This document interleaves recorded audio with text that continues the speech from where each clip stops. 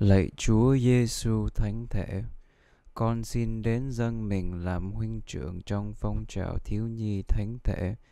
Con muốn tập cho các em biết tận tình yêu mến và kết hợp với Chúa, biết phụng sự giáo hội và tổ quốc qua đời sống cầu nguyện, rước lễ, hy sinh và làm tông đồ.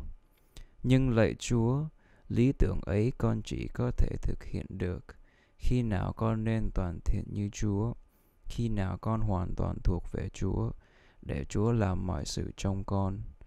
Lạy mẹ Maria, nhờ mẹ, con xin tận hiến đời con cho Chúa. Lạy các thánh tử đạo Việt Nam, xin giúp con sống trung tín và can đảm trên bước đường hy sinh phụng sự Chúa. Amen.